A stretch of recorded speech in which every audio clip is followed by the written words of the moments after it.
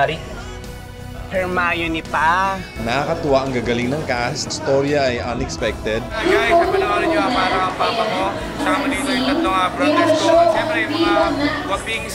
At this point, I'm trying to hold my tears. Ngayon pa lang, congratulations na kasi I've heard a lot of very good reviews. The way I tackle comedy and drama is a little different from those of my contemporaries. So I guess uh, this is something new again. Anong pangarap mo? Ako, matupad ang mga pangarap mo.